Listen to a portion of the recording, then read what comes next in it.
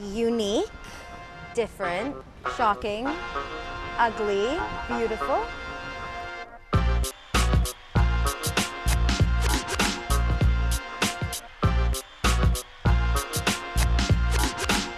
We're changing the way that beauty is seen.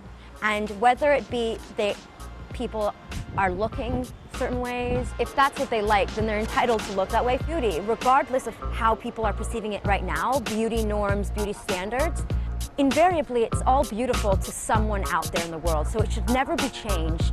I tint my eyebrows black. I don't, uh, I don't have naturally black eyebrows. For me, it really just has to do with this is what I like.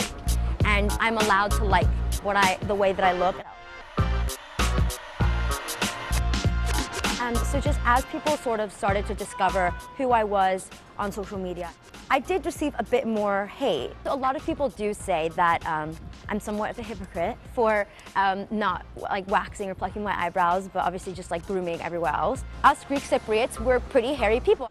I never saw a problem with it because my grandmother, my aunts, my uncles, everyone had eyebrows and they were never scared to pluck them or to leave them or anything like that. It was never anything they really cared about.